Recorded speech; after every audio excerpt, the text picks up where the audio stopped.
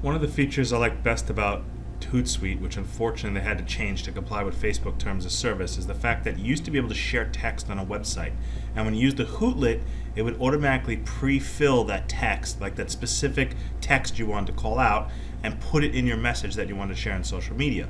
Well, I was wondering why that message disappeared and wasn't showing anymore.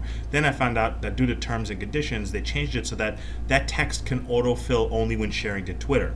If you select Facebook or any other social network, because of terms of service of Facebook, you have to manually type. There's no auto sharing of text. It only allows user generated content to be shared.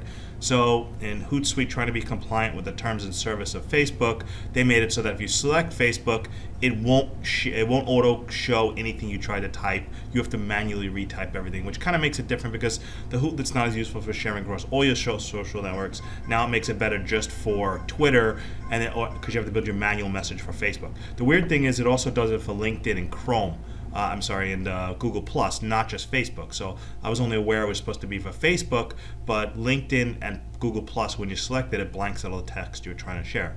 So this is just one of those things about the Hootlet uh, from Hootsuite that kind of became a little inconvenient. Hopefully, they can get this straightened out and they can get the Hootlet bookmarking tool um, back up and more functional and less inconvenient to use, so that way you can share more articles and share more thoughts on social media.